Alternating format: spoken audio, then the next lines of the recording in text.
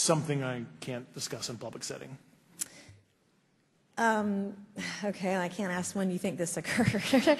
Um, If you believe we have crashed craft, uh, stated earlier, do we have the bodies of the pilots who piloted this craft? As I've stated publicly already in my News Nation interview, uh, biologics came with some of these recoveries. Yeah.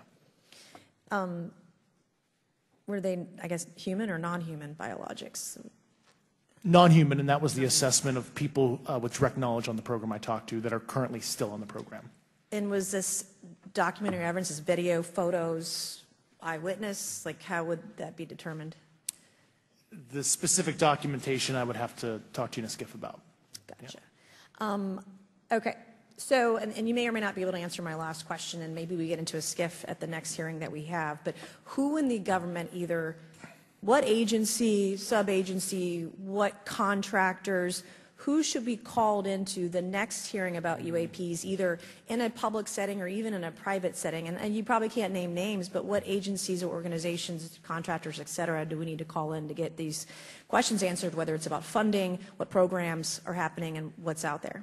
I can give you a specific cooperative and hostile witness list of specific individuals uh, that were in those. And, and how soon can we get that list? I'm happy to provide that to you after the hearing. Super, thank you. And I yield